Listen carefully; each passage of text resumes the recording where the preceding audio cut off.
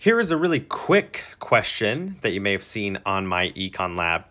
And we give you it gives you a little bit of uh, of good information here. You know, it says that it's a closed economy, meaning we know that net exports equals to zero. Not that that's really going to matter for this question, but just so that way we're comfortable with all this. The MPC is 0.6, uh, which we know MPC is how is my consumption going to change given there's a change in disposable income? Again, not needed really for this question, but just that we're understanding everything that's going on with any questions that are given. Investment changes by 200, so what's the change in the equilibrium GDP? As soon as you see like, uh, as soon as you see something like this, right? You see something changes, which leads to a different change, right? You have to think multiplier.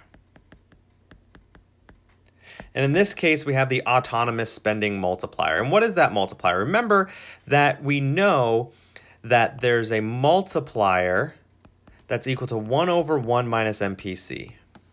So in this case, our spending multiplier is going to be 1 over 1 minus 0.60, which is equal to 1 over 0.4, which is equal to 2.5.